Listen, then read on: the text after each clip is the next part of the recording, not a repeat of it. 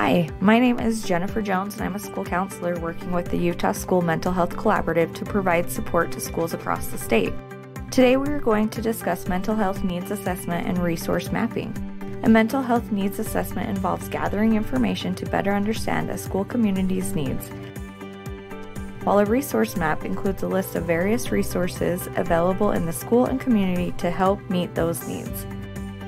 The purpose of a mental health needs assessment is to help all school partners see community strengths and areas for improvement as they relate to overall school functioning, including mental health and well being.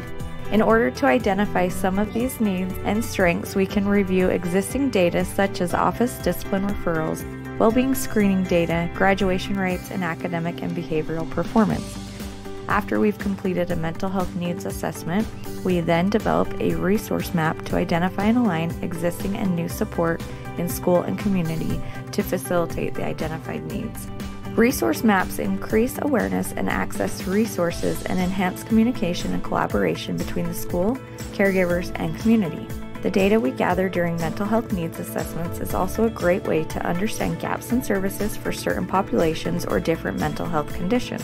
For example, gaps in services for minoritized students or for those presenting with emotional dysregulation this data will be helpful for the well-being team to brainstorm how to maximize the use of existing resources in the school and also identify and reach out to community resources and personnel that could further support their students. The process of mental health needs assessment and resource mapping is intended to be a collaborative one, with as many perspectives from school and community partners as possible. A more diverse team can contribute diverse perspectives. Resource maps and needs assessments are ongoing, and collaborative processes essential to ensure students and their families continue to feel and be supported. Ideally, these should be reviewed several times a year to reflect current needs and resource inventories. You can help by asking to review your school's current resource map. Perhaps there are resources that you weren't aware of that you can now share with your students and their families, or you can have additional resources to add to the map for your community.